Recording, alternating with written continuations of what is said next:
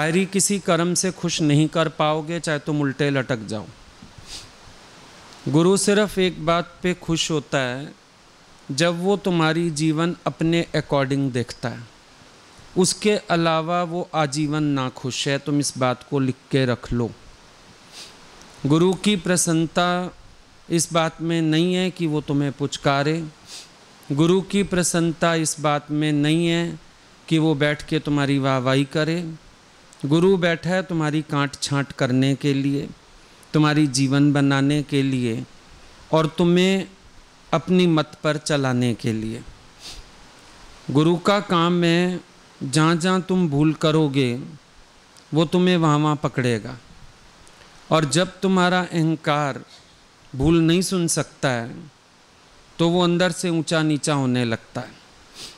ऐसे क्यों कहा, ऐसे क्यों कहा क्योंकि तुम लोग आते हो ये सोच के कि हम बहुत सेवा कार्य कर रहे हैं, हमें बहुत प्रशंसा मिलेगी। और प्रशंसा के बदले मिलता है जूता तो मन आ जाता है हलचल में। लेकिन सच तो ये है कि गुरु की मार में है संवार, और जिस प्यार की तुम उम्मीद रखते हो उसमें है बिगाड़, वो मिलेगा नहीं। यहाँ पर तुम संवार के लिए बैठे हैं। ना हमको तुम्हारा निष्काम कार्य चाहिए। ना हमको ये चाहिए तुम हमारी एडवर्टीज़मेंट करो। हमें सिर्फ़ एक बात चाहिए कि जैसा हम चाहते हैं तुम वैसे हो।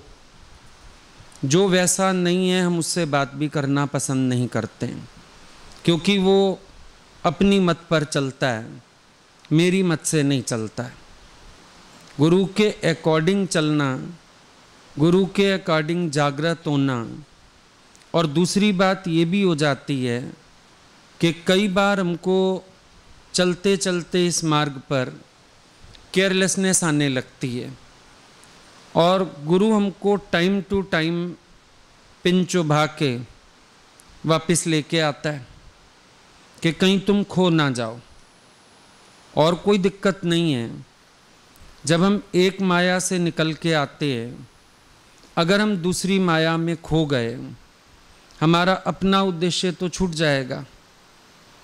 पहली ज़रूरत है अपने आप को गुरु के काबिल करने की। देखो, एक हैरानी वाली बात है, गुरु के कार्य के काबिल भी सब बनना चाहते हैं। मुझे समझ ये नहीं आती, गुरु के काबिल क्यों नहीं बनना चाहते उसके कार्य के काबिल सारे बन जाते हैं। निष्काम करें, लेक्चर करें, इधर जाएँ, उधर जाएँ। कार्य के काबिल तो बन रहे हो। गुरु के काबिल क्यों नहीं बनते हो? कि वो अपना साथ दे, वो प्यार दे, वो पास बिठाए, वो सेवा में रखे, उसके काबिल बन जाएँ। हम सब इस काम में क्यों लग जाते हैं कि हमको कार्य के ही काबिल बनना है? देखो, तुम योग्य हो जाओगे। कार्य तो ईश्वर तुमसे अपने आप लेगा। ना हमको ये बात है कि तुम्हारे किसी सेवा कार्य से हमें कोई शिकायत है, लेकिन कहीं भी हम तुम्हें बहते तो नहीं दे सकते, हैं ना? सबसे खतरनाक नदी है दुनिया में भावनाओं की, क्योंकि इंसान का हर थोड़ी देर में पैर फिसलता है और वो बह जाता है। कभी तुमने नोटिस किया इस बात को? भावना की नदी सबसे खतरनाक नदी है। जिस तरफ़ भावना का बहाव आ जाता है, इंसान उस तरफ़ बह जाता है। और अगर गुरु हमें भय में ना रखे, सख्ती ना करे तो क्या हम खो नहीं जाएँगे? बुरा हम लोगों को भी लगा होगा जब गुरु ऐसी सख्तियाँ करता था। लेकिन इन शक्तियों में भलाई तो हमारी है। अच्छा मान लो किसी ने ये शक्तियाँ नहीं सही। अब तुम्हें नज़र आ रहा है, बड़ा निष्काम कर रहा है अगला, बड़ी मौज कर रहा है अगला, बड़ा उसकी वाहवाही हो गई। ना, गुरु की नज़र में कितना चढ़ा हुआ तुम ये तो ढूंढ के आओ। गुरु की नज़र में अगला गिरा पड़ा है, दुनिया की नज़र में चढ़ा पड़ा है।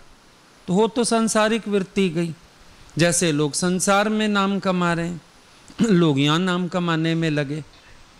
लेकिन गुरु की नज़र में चढ़ने में किसने पुरुषार्थ किया? पुरुषार्थ तो वो होता है। आज अगर माँ बाप की शक्तियाँ कड़वी लगती हैं, बड़े होके हम लोग खुद ही अनुभव करते हैं कि उन्होंने ऐसा माहौल रखा तो हम लोग बचे रहे, बाबा नहीं, हमारे कैरेक्टर खराब हो जाते। लगता है, नहीं लगता है? कई घरों में माँ बाप सख्त होते हैं, लेकिन बड़े होके बच्चे रियलाइज़ करते हैं कि अच्छी थी उनकी सख्ती, नहीं हम लोग गिर जाते थे। हम लोग शुरू शुरू में थोड़ा भगवान का रूप ऐसा ही था, जोश वाला तो कभी कभी हम लोग हिल जाते थे। आदत भी नहीं होती। घर में तो बिल्कुल आदत नहीं थी कभी। मार तो हम लोगों ने खाई नहीं बचपन से, डांट भी कभी नहीं पड़ी, क्योंकि आप ही पढ़ते थे, आप ही चलते थे। तो कभी घर में गुस्सा नहीं ऐसा हुआ था हम लोगों पर कि बच्चे जितनी डांट खाते हैं, मार खाते हैं, कुछ देखा ही नहीं था घर में। अब वहाँ जाके तो भगवान ऐसे जैसे कोड़े की छाया में रखता है कोई, सख्त माहौल था। तो कभी कभी ऐसे शेक हो जाते थे अंदर से। कभी मूड ऑफ़ हो जाती थी, कभी बुरा लग जाता था, कभी आँसू आ जाते थे। तो मम्मी हमेशा एक बात बोलते थे कि बेटा, स्ट्रिक्ट मास्टर के अंडर में बनावट अच्छी होती है। हमेशा उन्होंने इस शब्द से बहुत धीरज दिया। वो पास बुला लेते थे, जब देखते थे ऐसा धीरे धीरे समझाते थे। बेटा स्ट्रिक्ट मास्टर के अंडर बनावट अच्छी होती है। अगर मास्टर स्ट्रिक्ट नहीं होगा तो फिर तुम आधे अधूरे रह जाओगे। बोले, हमको मालूम है, सख्त है ये। गुरु जी का नाम लेके बोलते थे, हमें मालूम है, ये सख्त है, पर देखना तुम निखरोगे, देखना तुम बड़े अच्छे बनोगे। तो ये भी तो अपने मन को एक बात समझानी और दिखानी पड़ती है। आज जब तुम दुनिया में जाओ, तुम्हें हर जगह बड़ा सम्मान, मान, वाहवाही सब मिल रही है। तो बैलेंस तो घर में आके करना ही पड़ेगा ना तुम्हें। जब तुम लौट के आओगे तो हम बैलेंस तो करेंगे। तराजू का एक पलड़ा ही ऊँचा जाता जाएगा, और दूसरे पे हमने बाटी ना रखा तो होगा क्या? गिरावट हो जाएगी, फिर वही उद्देश्य बन जाएगा। और ये उद्देश्य सबसे ज़्यादा बेड़ा गर्क करता है इंसान का। जो व्यक्ति सिर्फ़ इस चक्कर में लग जाता है ना, निष्काम, लोग बनाऊँ, मेरा नाम हो जाए, फिर एक समय आएगा, लगेगा गुरु के नाम से भी ज़्यादा मेरा नाम हो जाए। ऐसा भी हमने खेल देखा है।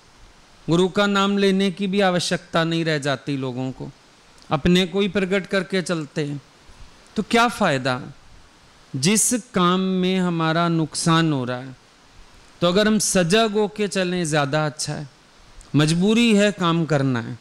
वो भी मजबूरी है, क्योंकि इसमें भी हम बहुत कुछ सीखते हैं नो डाउट निष्कामी होने के सिवाय सा काम बंधन नहीं जाते। विशालता नहीं आती, उदारता नहीं आती, सर्व से प्रेम करना नहीं आता, सेवा नहीं सीख पाते। ये भी एक मजबूरी है। प्रैक्टिकल ज्ञान के लिए तुम्हें अपने आप को बनाना पड़ता है, इस तरह से भी। लेकिन फ़ायदा तब रहता है जब कार्य गुरु के अंडर होता है। अब ऐसे तो तुम्हें कहा सत्संग करो, पर अगर तुम्हें एक डर रहता है, आज तुम्हें चेंज करते हो सत्संग तो भी बताते हो, आज मैंने इस घर में रखा है, आज फलाने घर में रखा है, वो आज्ञा मांग रहा है प्रसाद के लिए, कोई भी बात होती है, अब जब अंडर रह के कार्य करते हो तो तुम कितने निश्चिंत और फ्री रहते हो। देखो ना, अब तुमको एक बार आपने कह दिया, अब मर्ज़ी से करते रहें। अब हमको बाहर से लोगों से पता चले अच्छा तुम फलानी जगह सत्संग करके आए। अच्छा हमारे अंदर तुम्हारी क्या इमेज बनेगी? सोच के देखो, हमारे अंदर तुम्हारी क्या इमेज बनेगी? नेचुरली हमको यही लगेगा कि अगला मन मर्ज़ी वाला है। यही लगेगा कि आज्ञा में तो है नहीं। यही लगेगा कि अहंकारी आ गया है। यही लगेगा कि अब वो गुरु का स्थान भी खत्म कर दिया उसने मन से। लगेगा कि नहीं लगेगा? तो बेटर है ना? अगर हम आज्ञा में हैं, पूछ के चल रहे हैं और देख रहे हो कि जब तुम पूछ के चलते हो, काम करते हो, तुम्हारे कार्य में भी रंग लगता है। तो इसका मतलब जब गुरु तुम्हें गाइडेंस दे रहा है, उसका आशीर्वाद तुम्हारे साथ है। लेकिन वो तुम्हें ऐसे नहीं छोड़ सकता कि तुम बह जाओ। यही तो गुरु के होने का फ़ायदा होता है कि वो हमारी डोर पकड़ के रखता है। और मेरे मन को पता होता है, मुझे हुक्म के बिना एक सेंटीमीटर भी नहीं हिलना है। यही तो फ़ायदा होता है। अगर पतंग आकाश में उड़ी, नीचे वाले से डोर कट गई, अब वो उड़ेगी नहीं, अब बर्बादी होएगी। क्योंकि आएगी दाएँ से नीचे, या तो लोग लूट लेंगे, या फट जाएगी। होना तो कुछ ना कुछ अधोगति नहीं है। लेकिन जब नीचे वाले की डोर से बंधी हुई है, कितना ही ऊँचा उड़ा दे, फ़र्क नहीं पड़ता। और जब वो समेटना चाहेगा, समेट भी लेगा।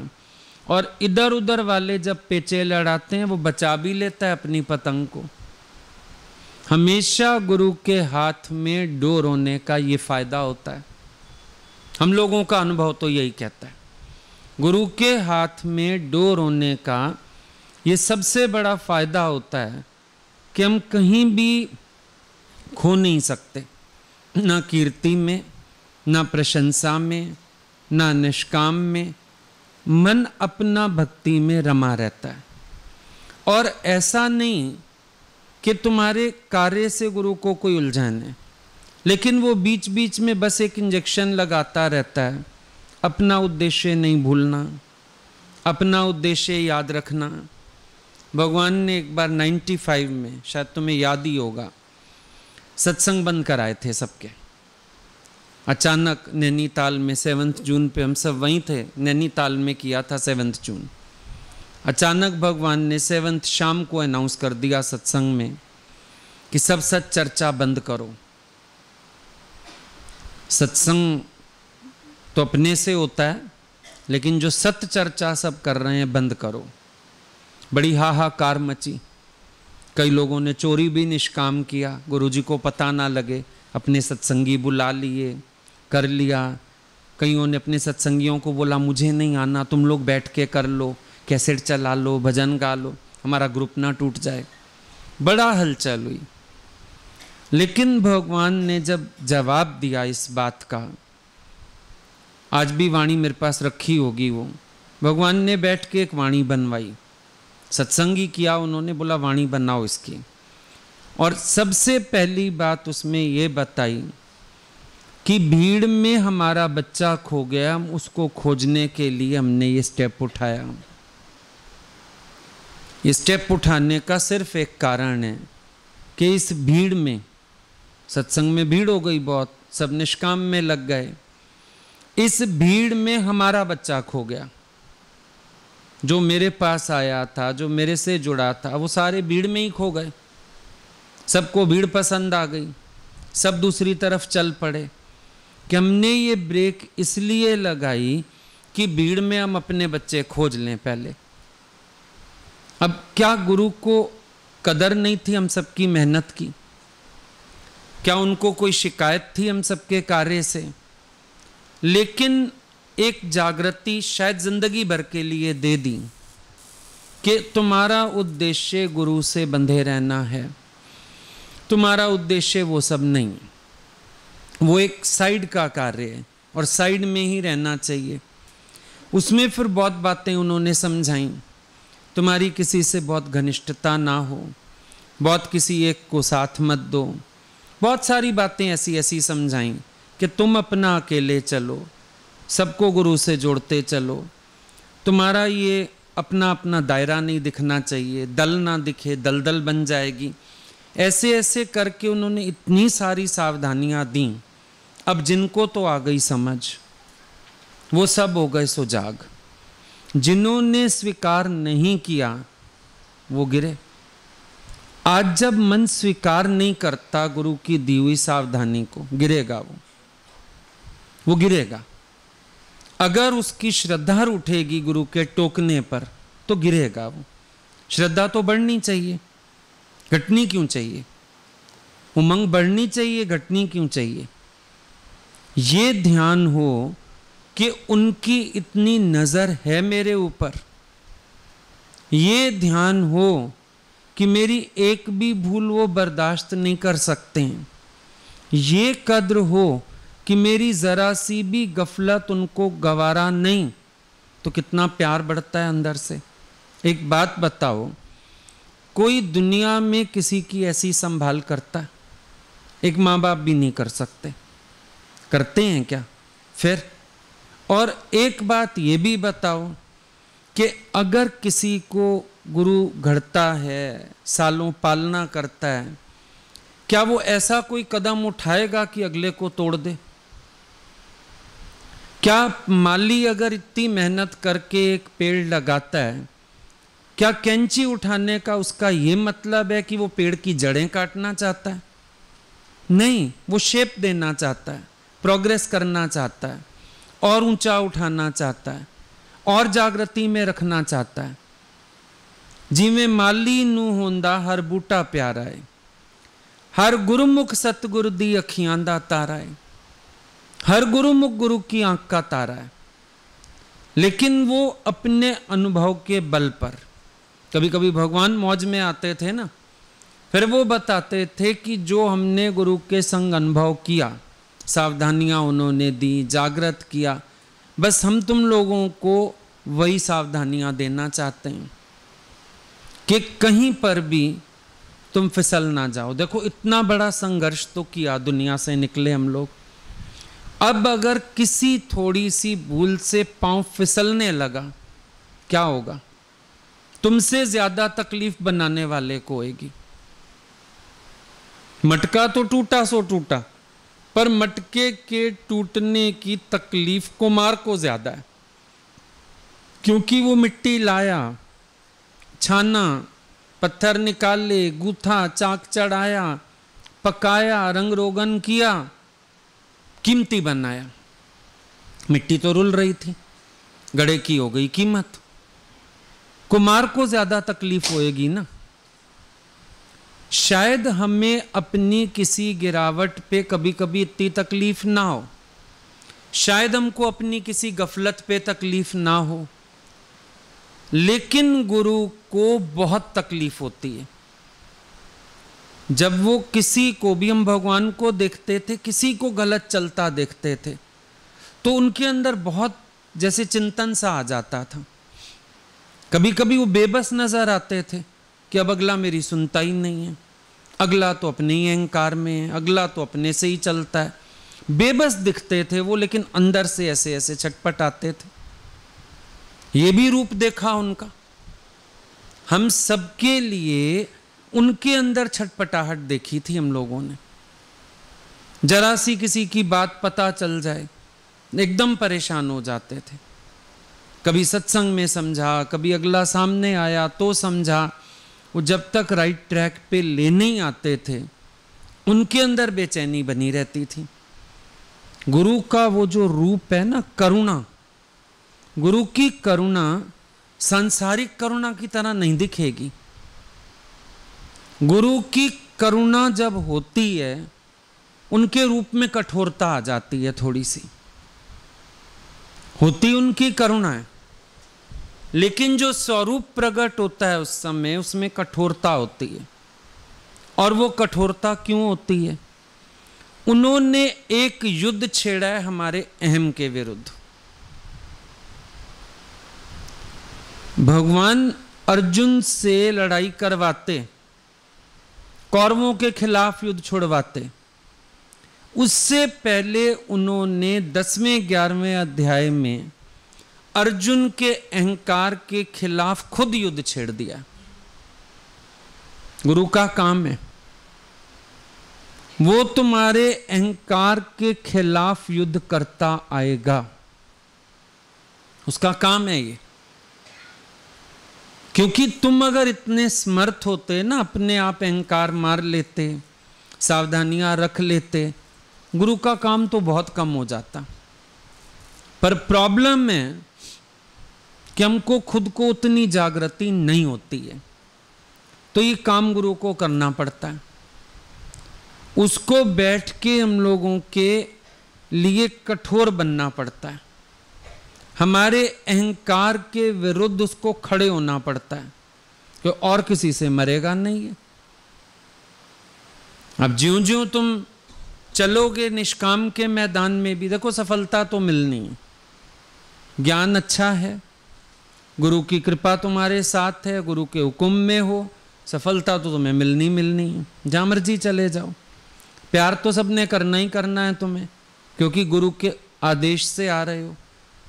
सब यही मैसेज देते कल भी मुझे कोई बता रहा था, तुम्हारा जाना होता है तो हम एक ही मैसेज देते हैं, गुरु का बच्चा आ रहा है, गुरु का बच्चा आ रहा है। सब जानते ही गुरु के कारण है भाई। बोला, हम सबको मैसेज देते हैं, सब पहुँच जाते हैं। हम बोल रहे, इतनी भीड़ कहाँ से आ जाती है? बोले, हम तो एक मैसेज देते हैं, गुरु का बच्चा आ रहा है। तो सब लोग पहुँच जाते हैं, सब लोगों को अच्छा लगता है। तो ये तो होना कोई बड़ी बात नहीं है। लेकिन तुम इस भीड़ में गुम ना हो जाओ। तो पट्टा तो डाल के रखना पड़ेगा ना। किसी के अंडर तो रहना पड़ता है, संसार में भी इंसान चलता है। सास, ससुर, पति, सिर पे कोई तो रहता है। यहाँ आ गए, जीवन यहाँ दे दिया। गुरु का पट्टा रहता है गले में। अच्छी बात है। अब भगवान क्यों बीच बीच में से हम लोगों को खींच लेते थे? तुमने देखा है, इतना लंबा सफ़र तुमने हमारे साथ तय किया है। गुरु को भी देखा है, उनके साथ भी रही हो। देखा है ना सब? और कितना वो ड्रिल कराते थे? तुम्हें मालूम है? किसी के घर सत्संग भी रखा होता था, तुझे क्या करना? ये क्या है? निष्काम की आसक्ति काटता है गुरु। घर में देखा, ऑपरेशन हुआ, कुछ हुआ, एक समय बोल रहे हैं, तुम पंद्रह दिन हॉस्पिटल से हिलना मत। और घर आके बोल रहे हैं, तेरा क्या काम? तू तो यहाँ मेरे पास आ जा। ये ड्रिल जो गुरु कराता है ना, इसका एक अपना ही इंपैक्ट होता है जीवन में। अब हम कहेंगे, आसक्ति नहीं। गुरु कहता है, नहीं है तो निकल के दिखाओ। नहीं है ना? निकल के दिखाओ। जब हमको बुलाया डैडी के ऑपरेशन के बाद, आ जाओ तुम, पहले तो फ़ोन में हमने बताया, अचानक ऐसे ऐसे डॉक्टर कह रहा है। बोले, तुम पंद्रह दिन उधर ही रह जाना, घर नहीं आना। सत्संग भी बता दिया हमको, फलाने को बोल दो। सत्संग रोज वो देखे। ठीक है उसके बाद हमको बोला, तुम यहाँ आ जाओ। सत्संग में इतनी अच्छी बात समझाई उन्होंने। बोला, देखो, कभी गुरु कहता है, सेवा करो। अब फिर हम सेवा करते करते आसक्त ना हो जाएँ, कर्ता भाव ना आ जाए, ये ना लगे मैं ही कर सकता हूँ गुरु फिर। निकाल भी लेता है वहाँ से। सही बात है। कराया भी, छुड़ाया भी। कराया तो अपना हुक्म में कराया, छुड़ाया, अपने हुक्म में छुड़ाया। अब ये हुक्म मानने में अपना मन बैलेंस होता है। और नेचुरल सी बात है, अपने आप को ही छोड़ के नहीं निकलेगा ऐसे। भले हम कहेंगे, आसक्ति नहीं है, ऐसा नहीं है। कुछ इम्तिहान तो गुरु ही ले सकता अपने इम्तिहान जितने मर्ज़ी ले लो, पढ़, पढ़ते हैं ना, अपने इम्तिहान खुद भी लेते हैं। फिर भी जो टीचर का इम्तिहान है, पार तो वो करना है। अपनी तरफ़ से तैयारी हो गई हमारी अच्छा? हाँ मैंने अपने आप टेस्ट पेपर कर देखे, ये कर देखा। फिर भी जब टीचर ने इम्तिहान लिया, नंबर क्यों कट गए? बात तो वो है, टीचर के इम्तिहान से गुजरना होता है। और ऐसे घर से कोई भी नहीं निकलेगा। घर में ऐसी परेशानी हो, सेवा की ज़रूरत हो, उल्टा एक बात पक्की हो जाती है, गुरु ने तो हुक्म दे दिया हमें। आराम से करो। लेकिन वो ऐसे रंग बदलते थे एक मिनट में, समझ ही नहीं आता था कि ऐसा भी हुक्म दे सकते हैं। भाई खुद ही कह रहे हैं कर लो, खुद ही कह रहे हैं निकल लो। छुड़ाया अभी। अब ये जो गुरु की ड्रिल है, आज समझो भगाता है, गुरु जाओ, इधर भी जाओ, इधर भी जाओ, इधर भी जाओ, और किसी किस दिन देखते हो, बिठा दिया जाता है। सारा दिन तुम्हें निष्काम में ही भागना है। क्या कर लेगा कोई सत्संग? बैठ जा आज घर में। मन कभी कभी हलचल में आता होएगा। मैंने तो किसी के घर में रखा हुआ है, इतने लोग नए आने वाले हैं तो क्या हुआ? कोई दूसरा करेगा सत्संग? तो बैठ। अब ये ड्रिल ना अपने आप नहीं कर सकते। गीता भगवान ने ही बताया। जब लक्ष्मी भगवान की बेटी का शरीर शांत हुआ, एक महीने से गीता भगवान जा रहे थे वहाँ पर। अब रात को आके बताया, उसका शरीर शांत हो गया। बॉडी रखी थी रात को, सुबह संस्कार था। सुबह तैयार होके जाने लगे, दादा पूछते हैं, कहाँ जा रहे हो? उसके घर जा रहे हैं। तुमने तो कहा ना, वो मर गई। बोला हाँ मर गई वो तो। बोला, फिर किसके पास जा रहे हो? अब एक महीना किसी के घर तुम सारा सारा दिन जाओ। नेचुरली जाए इंसान तो सब जानते भी थे, दादाजी की बेटी हैं। उधर से लक्ष्मी भगवान, दादा भगवान संग रहते थे। प्यार किया, मेहनत किया, बीमारी में अगले को उठाया, खाया पिया भी होगा उसके घर। और बिल्कुल इतना कोरा कर दे गुरु कि अब आज जब वो मर गई, तुम्हें किसके पास जाना है? बॉडी देखने भी मत जाओ, संस्कार में भी मत जाओ। अब उनकी दहली जी ना, लांगो खत्म हो गई बात। अब कर सकता है कोई अपने आप ये ड्रिल कोई भी नहीं करेगा। लेकिन ये गुरु कराता है। एक महीना भेजते रहे रोज। और उस दिन बोला, आप क्या करने जाना? तो मर गई। काम खत्म हो गया अब। अब सारे घर बैठो। एक नहीं गया मुड़ के उनके घर में। जहाँ महीने, अब और कुछ नहीं, यही आ जाता है। शायद किसी और को लगन लग जाए घर वाले वैल्यू करें। शायद उनको सत्संग अच्छा लग जाए, सारे ही सुनते थे। वो दादा का तो हिसाब अपना। चैप्टर क्लोज करा दिया पूरा का पूरा। तो ये तो शक्तियाँ गुरु की सहनी पड़ती ये दुखड़ा डिसी मन डर जाए ना। ये जो दुखड़ा लगता है ना मन को, गुरु की शक्तियों का, दुखड़ा डिसी मन डर जाए ना, बिन बेड़िन में चढ़ जाए ना। डर सतगुरु है जो छट जाए ना। गुरु का डर ना छोड़े, संसार की किसी बेड़ी में ना चढ़े, और ये दुखड़ा देख के डरे ना।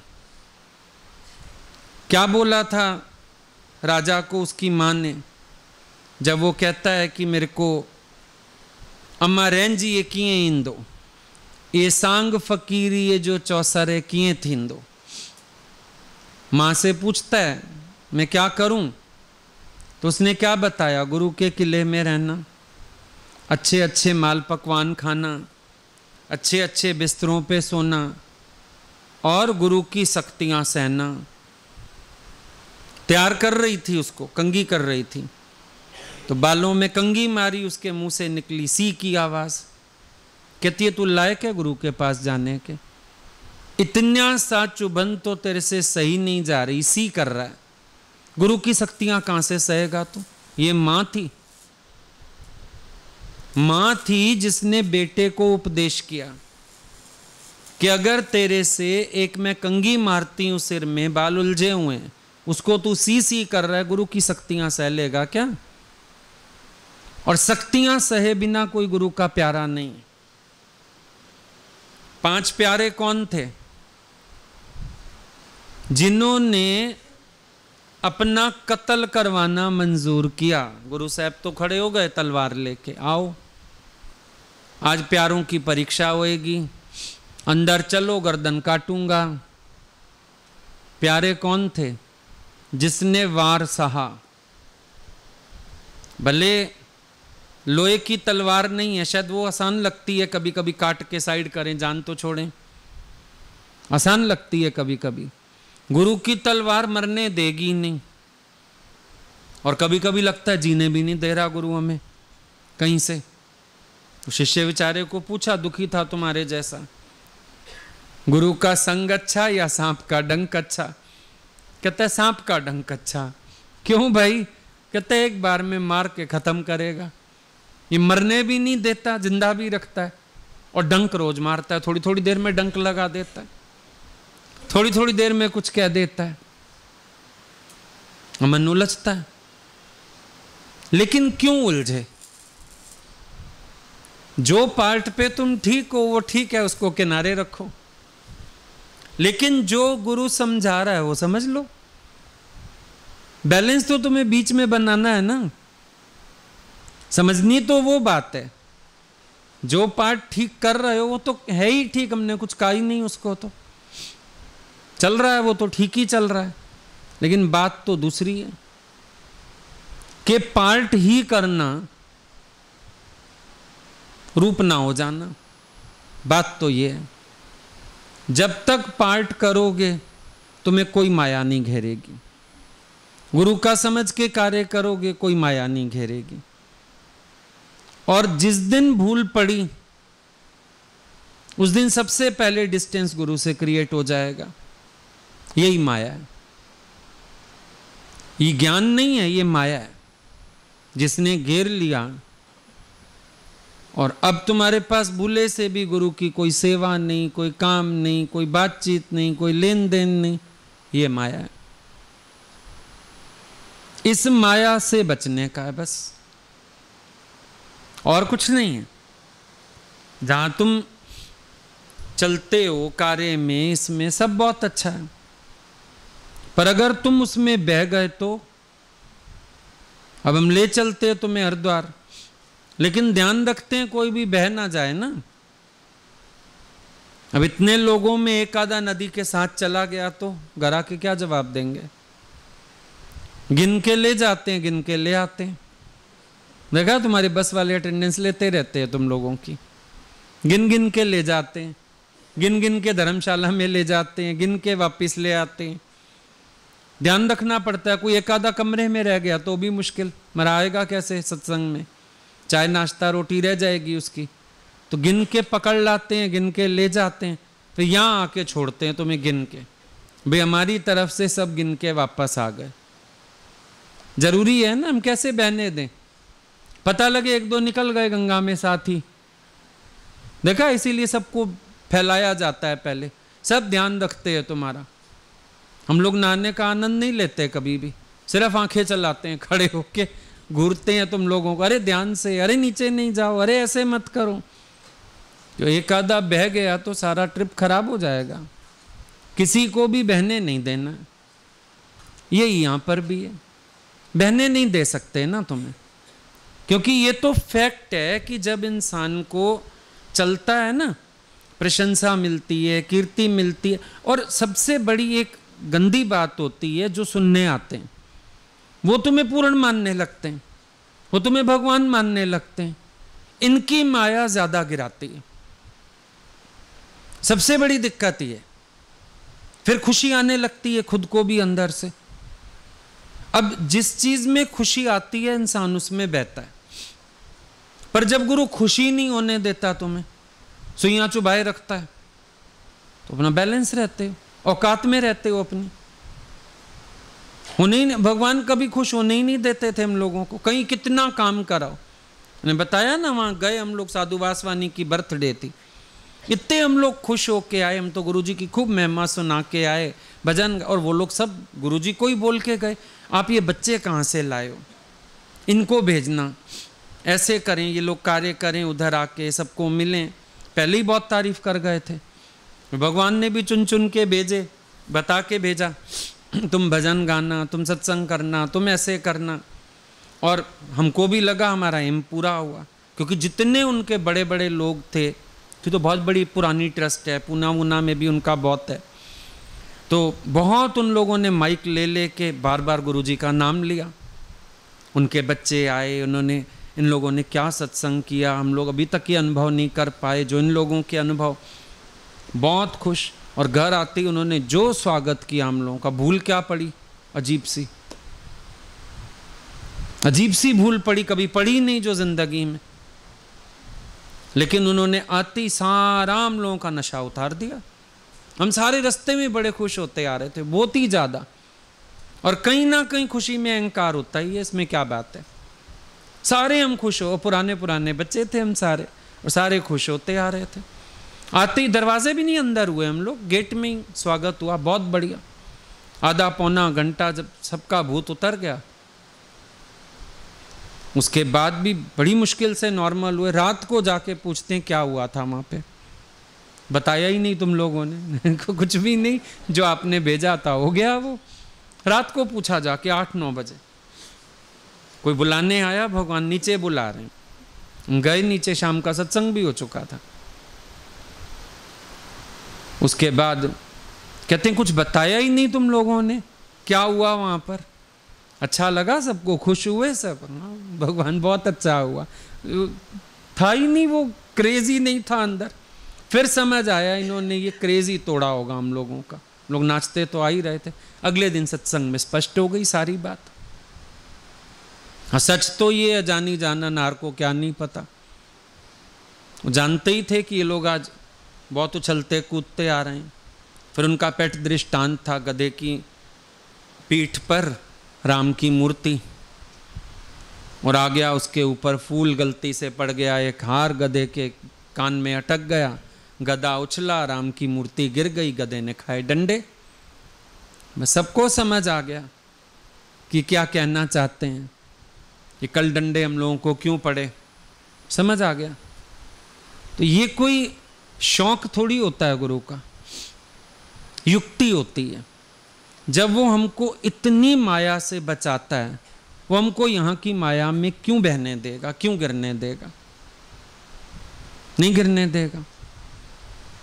बचा के चलेगा। तुम्हारी जीवन को इतनी सस्ती तो है नहीं कि तुमने दाव पे लगा दी, अब कोई बात नहीं। वहाँ ना डूबे तो यहाँ डूब जाए। नहीं, हमें डूबना ही नहीं। डूबना ही नहीं है। और इसीलिए देखो, रोज ये उमंग तुम्हारी ठंडी अपने आप ही हो जाती है। नहीं तो तुम उड़ो आकाश में। रोज अपने आप ठंडे हो जाते हो। नहीं नहीं, आप कहिए तो मैं जाना छोड़ दूँ। नहीं, जाओ भी सही। लेकिन उड़ो मत। बस, पक्षी तो रहे पर पर कटवा ले एक बार। इतना ही है। उड़ने नहीं देगा गुरु तुम्हें।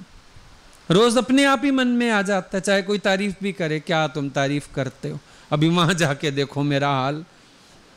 वहाँ आके देखो, अपने आप ही मन कहता है, यह क्या? कुछ नहीं है। निष्काम भी कुछ नहीं है। प्रशंसा भी झूठी है। ये कीर्ति भी किसी काम की नहीं है। अभी जाके तो स्वागत ही होना है मेरा।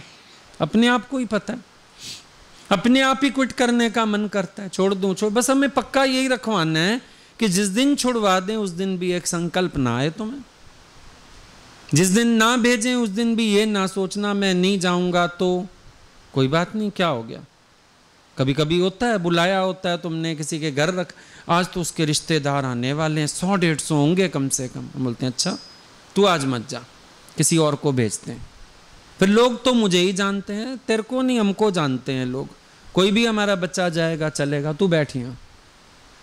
होता है ना वे झटके भी खाए हैं कई बार। क्या हुआ फिर? वो नुकसान हो गया क्या? जाएगी पब्लिक भाग जाए, हमें क्या पब्लिक से लेना है कुछ?